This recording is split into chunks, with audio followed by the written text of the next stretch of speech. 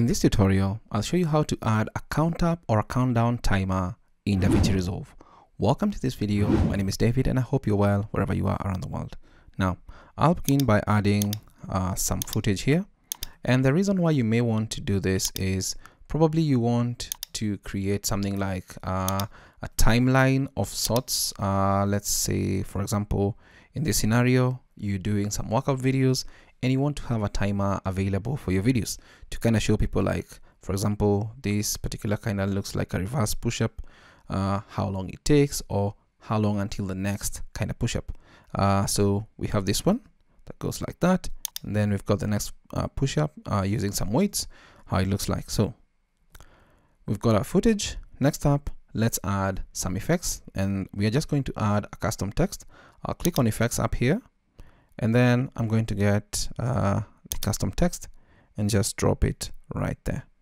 Now once I drop it there I can just move it up to here.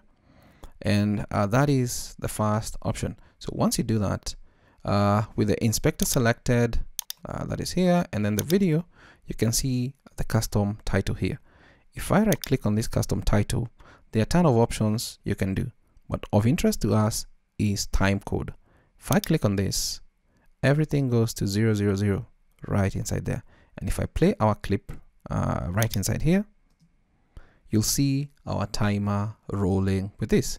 Now that's really awesome but probably some of the times uh, at the end here you may not want and these are the frames these are the seconds these are the minutes these are the hours. If that is not something that you'd like uh, to kind of work with then there's an easy way to kind of take care of that. And what I'll do is I'll come back here uh, to this particular option, scroll down, and then we've got a write on feature here. So if I adjust this side, the time on this side is actually going to be cut off. So I'm just going to adjust it to where I want it to be. Let's say I want it to be uh, up to the seconds uh, uh, option here. Let's say remove that colon again. Uh, let's move it to the side slightly and it takes care of that and we can actually leave the frames option available uh, right there. So when you actually play this back what we get is something that looks like that. That's more or less a count up timer uh, that is showing people how long that particular section is. Now for exercise videos cooking videos showing what's next countdown timers are much much better. So what we can do here is we can just right click on this and create a new compound clip. And we can call it uh, countdown timer and then click on create.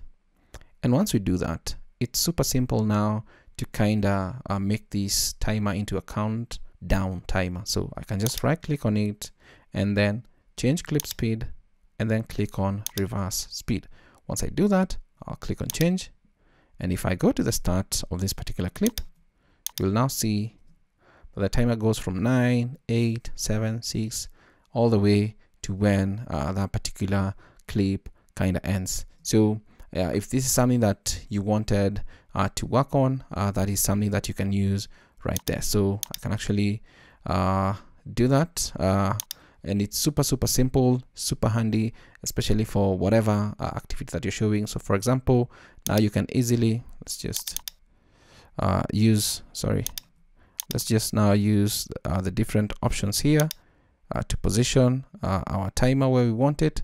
Let's say we want it somewhere like right about there. So if we go home you can easily show your timer down there. Looks really good uh, shows how long the next exercise or fitness uh, training is up and so on and so forth. So that is how you can easily create a count up or a countdown timer that you can add to your videos in DaVinci Resolve. I hope this tutorial is of value to you. Thanks for watching.